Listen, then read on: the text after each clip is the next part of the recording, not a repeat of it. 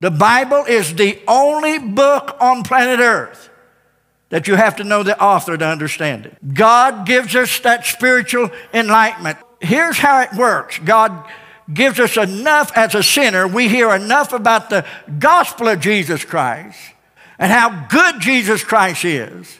And the Father convicts us brings conviction to our soul. The Father draws us to Jesus Christ, gives us just enough to say, I need to be saved, I need my sins forgiven. And then God draws you to the altar. The Holy Spirit baptizes you into the person of Jesus Christ, and you get saved. And from that day on, you bow your knee at this book to understand it. But if you bow your knee at this book before you're born again, you'll never understand it.